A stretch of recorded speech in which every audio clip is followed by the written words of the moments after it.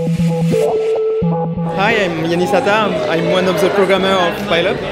And I'm Antonin Demeyer. I'm a game designer uh, of Pileup. Uh, we are currently in a studio called Seed by Seed, and we are located in Angoulême in the south of France. Uh, is a one to four player uh, cooperation um, platformer game in which you play as uh, little cardboard boxes uh, that can pile up to solve puzzles and go through uh, colorful worlds.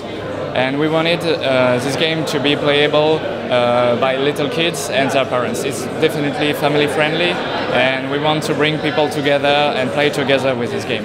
We are very happy because we've won uh, the award for the most uh, creative newcomer. It's really a surprise for us, but we're also very glad because we worked a lot on making uh, something that we think is innovative. We put we put a lot of hard work into creating uh, new ways of design uh, to uh, make people play together uh, as easy as possible. And so we are very glad that the jury recognized it and that they gave us the award for, for, for this effort, I, I guess. We're still working on the game.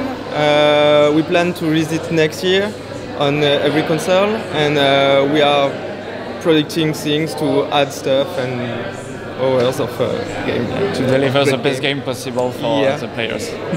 the festival was really amazing. We met a lot of people.